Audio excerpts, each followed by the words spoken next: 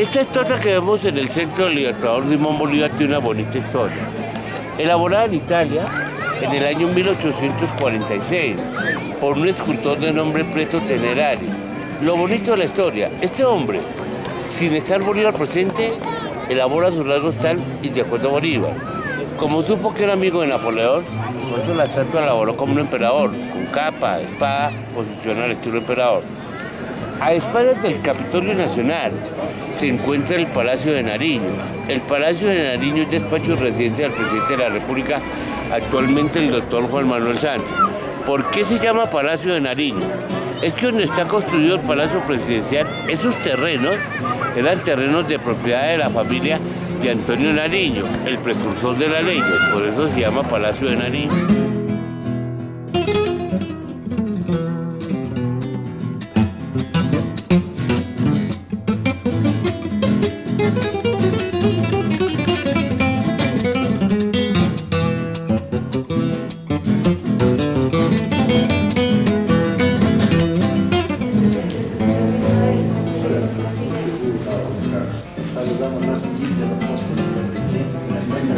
Me acuerdo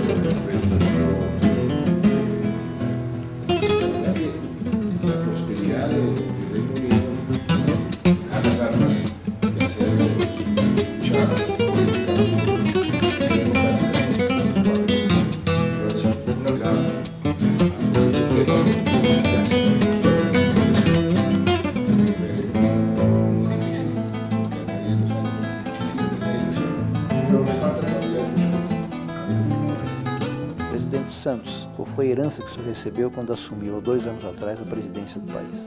Pues yo encontré un país eh, en progreso.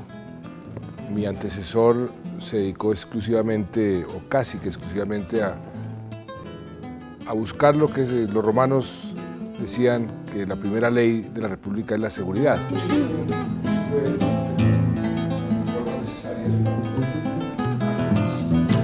Si el presidente Chávez piensa diferente a lo que pienso yo, pues yo le respeto como él piensa y si él me respeta como yo pienso, podemos tener buenas relaciones y las hemos tenido afortunadamente para bien del pueblo venezolano y para bien del pueblo colombiano.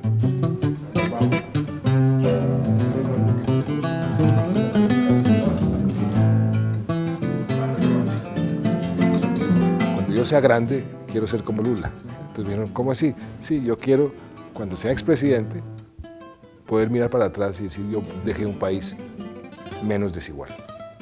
Eso para mí sería maravilloso y ojalá pueda yo decir, dejé un país en paz. Muchas gracias. A usted muchas gracias.